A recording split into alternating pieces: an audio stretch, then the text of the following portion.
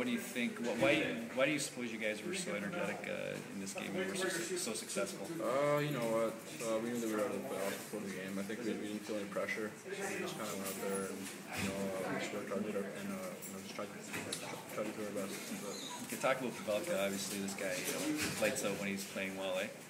yeah, he's he's really good. Like you know, like like you see on uh, you know like days like today, he, like he can really step up and uh, be good. So it was, it was good for us. Is it hard to get that motivation once you know what happened last night with, with Saginaw?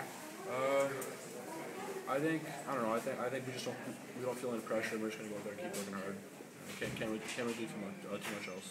Coaching staff talked about evaluations and now they want to look at the last three, four games. Yeah, they said pretty much, you know this is uh this is like a tryout for next year for all of us. So we're all gonna be working hard the last uh, four games this season.